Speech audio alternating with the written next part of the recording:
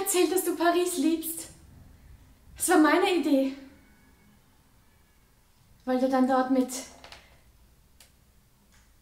Französenhütchen auf dem Kopf herumfahren und mit scheiß Baguette im Fahrradkorb.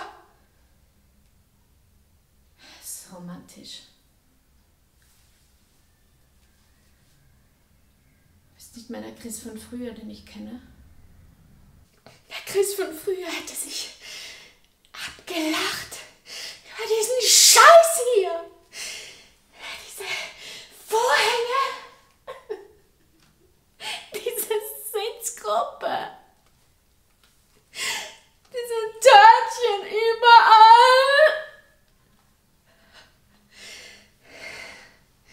Ja, das wüsstest du auch, gell? Wenn du mal deinen schönen neuen Kopf aus ihrem perfekt gebleachten Arschloch ziehen würdest. Seitdem du heiraten willst, ist alles Scheiße! Scheiße! Aber ich wünsche dir viel Glück. Wirklich. Ich freue mich für dich. Wirklich.